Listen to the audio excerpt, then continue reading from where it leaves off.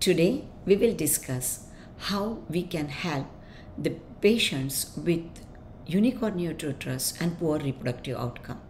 We all know that these patients unfortunately have a recurrent abortions of increasing gestational age and at some point they reach to the stage where we can have a 32 34 weeks of pregnancy with every abortion the volume of the uterine cavity increases i have presented the work to in 2007 with my seven cases we received the best paper award where we decreased or we did hysteroscopically the Today, the world is lateral metroplasty, but we did not do lateral metroplasty.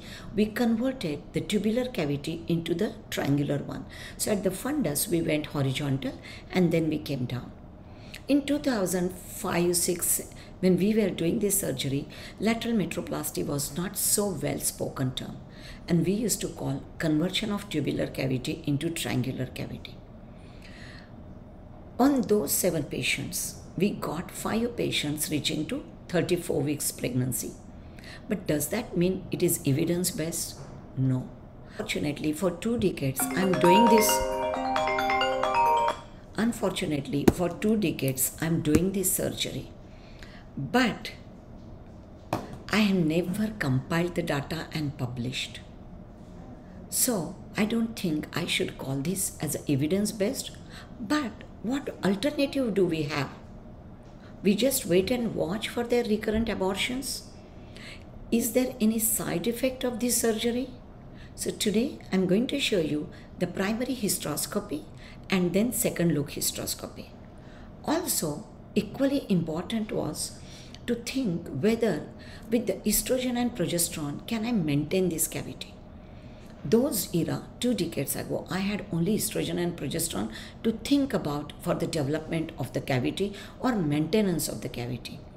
Today i have prps i have stem cells i can think of so many other options but friends believe me even during those period we got beautiful roomy cavity in second look i hope I, you all will enjoy and someday many more people will join hands to convert this tubular cavity into triangular and we may come out with the larger data and maybe evidence-based publication.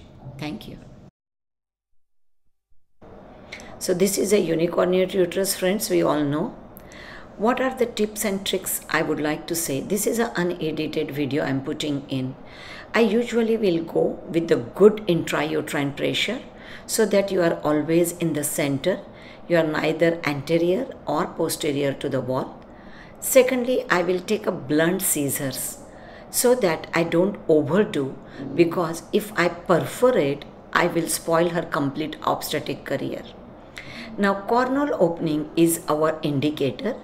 So, I'm going towards the cornu that cornu tells me that this is a fundus. Have a habit of withdrawing your telescope from time to time to visualize the entire room. Now this is probably, if I don't cut, may become like a central septum. And if you see with the hydropressure, few fibers open up. Now I'm not going to go much in there because I can do further in second sitting as well. But this is probably the designed cornu of a contralateral side. And I'm cutting and making in the fundus. And can you see that? Just with the small nicks fiber by fiber dissection millimeter by millimeter keep on cutting. The hydropressure will also helps you.